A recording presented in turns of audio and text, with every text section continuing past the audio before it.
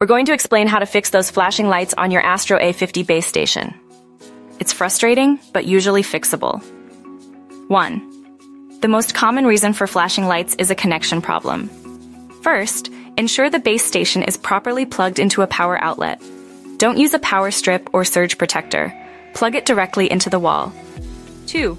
Next, check the optical cable connecting the base station to your console.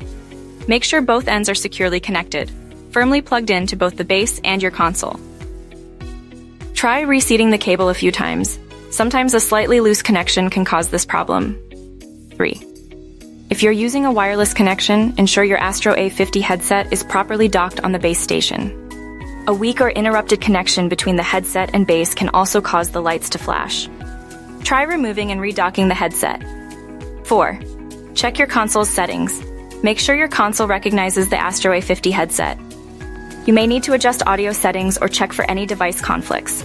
The exact steps will vary depending on whether you have an Xbox or PlayStation, so consult your console's manual or the Astro website for specific instructions. 5. Firmware updates are crucial. Go to the Astro website and download the latest firmware for your base station and headset. Outdated firmware is a common culprit behind many connectivity issues. Carefully follow the instructions provided. 6. If the problem persists, it might be a hardware issue. Check the optical cable for any damage. Even a small bend or fray can disrupt the signal. Try a different known good cable if possible. 7. If none of these steps work, your base station might be faulty. Contact Astro Gaming Support directly. They have excellent customer service and may be able to help you troubleshoot further or arrange a repair or replacement under warranty. Remember to have your purchase receipt handy. 8. Before contacting support, try a factory reset of the base station.